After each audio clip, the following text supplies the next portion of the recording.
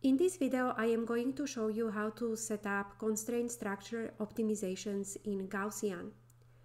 I have drawn a structure of isonicotinic acid in GaussView and what I would like to do is to optimize this structure but I would like to keep the atom positions of the pyridine ring frozen and only optimize the positions of hydrogen and the carboxylic acid substituent.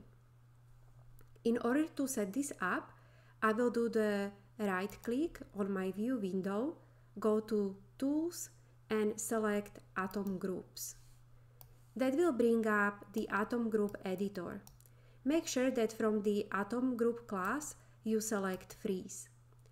By default, all of the atoms are unfrozen and they are colored red in the view.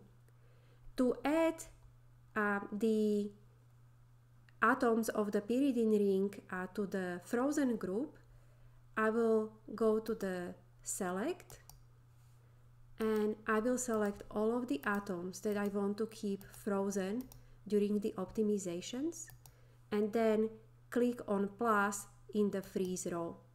So now you can see that my atoms 1 through 6 that are colored here in green were added to the frozen group and atoms 7 through 14 which correspond to the hydrogen atoms and the atoms of the carboxylic acid substituent are unfrozen.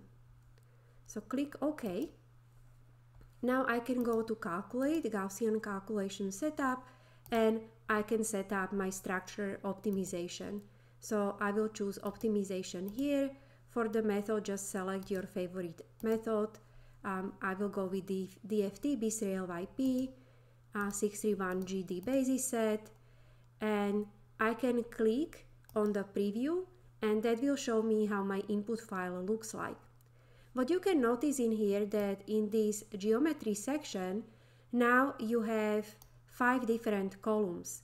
So the first column gives you the atom labels, the second column tells you which atoms are going to be frozen and which ones are going to be unfrozen in the optimizations.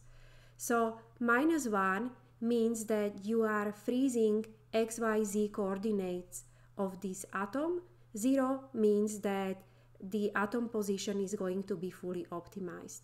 So you can see that it is really not necessary to use GaussView uh, to freeze the atoms. You can do it manually uh, by editing the input file, adding this extra column in here. So now you can save the input file and submit it for calculation.